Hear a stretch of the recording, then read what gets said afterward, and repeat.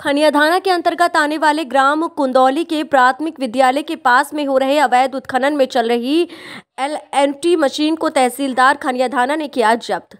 बड़ी खबर खनियाधाना से आ रही है, जहाँ पर खनियाधाना के अंतर्गत आने वाले ग्राम कुंदौली के शासकीय प्राथमिक विद्यालय के पास में गोचर भूमि पर अवैध उत्खनन बराबर जारी था। इसकी शिकायत खनियाधाना तहसीलदार को बराबर मिल रही थी, पर खनियाधाना तहसीलदार की टीम मौके पर पहुँचती तो मौके से उत्खनन करता फरार हो जाते थे। आज जैसे ही खनियाधाना तहसीलदार सुनील प्रभास को इसकी जानकारी लगी और सुनील प्रभास अपने मय दलबल के साथ खनियाधाना के कुंदौली गाँव पहुँचे, जहाँ पर गौशाला के पीछे शासकीय ज़मीन सर्वे नंबर 133 पर एलएनटी मशीन का अवैध उत्खनन किया जा रहा था, जिसको तहसीलदार खनियाधाना ने मौके पर पहुंचकर जब्त किया।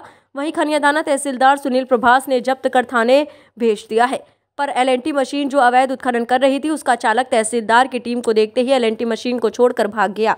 साथ ही वह उत्खनन कर रहे ट्रैक्टर मौका पाकर फरार हो गए। फ़िलहाल तहसीलदार खनिया थाना एल मशीन को थाना लाकर रखवा दिया है और आगे की कार्यवाही जारी है। खनिया थाना से शिवकांत सोनी की रिपोर्ट। कुनौली गाँव से एक अवैध उत्खनन करते हुए एल और एक ट्रैक्टर जब किया क्या पूरा मामला? नहीं ट्रैक्टर तो अलग मैटर था। ट्रैक्टर भाग गया।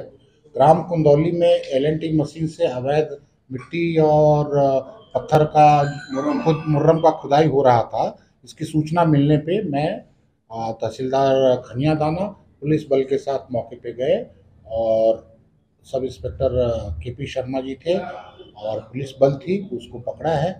पहले तो मैं खुद जाके पकड़ा था उसको फिर पुलिस बल को क्योंकि टाइम नहीं था इतना पुलिस बल को बुलाया तत्काल पुलिस बल के पी शर्मा सब इंस्पेक्टर के नेतृत्व में पहुँच गया और उसको पकड़ लिया। ट्रैक्टर चार पाँच थे जो उनको पहले शायद सूचना मिल गई होगी वहीं पे खाली करके भाग गए। सर उसमें बताया जा रहा है कि डंपर भी था साथ में? नहीं डंपर वहाँ नहीं मैंने तो नहीं देखा लेकिन काफ़ी दूर से ट्रैक्टर को भागते ज़रूर देखा था। तीन चार ट्रैक्टर दूसरे रास्ते से जिस रास्ते से हम गए उसके उल्टे उल्टे रास्ते से तीन या चार ट्रैक्टर को भागते हुए दूर से देखा। खदेड़ने की कोशिश किया लेकिन पकड़ नहीं पाए उसको। तो इस पर क्या कार्रवाई की है? एलएनटी मशीन पे अवैध उत्खनन और के विरुद्ध जब्ती करके थाने में दे दिया गया है। प्रकरण बना के तत्काल जो है सो भेजा जा रहा है एसडीएम और कलेक्टर महोदय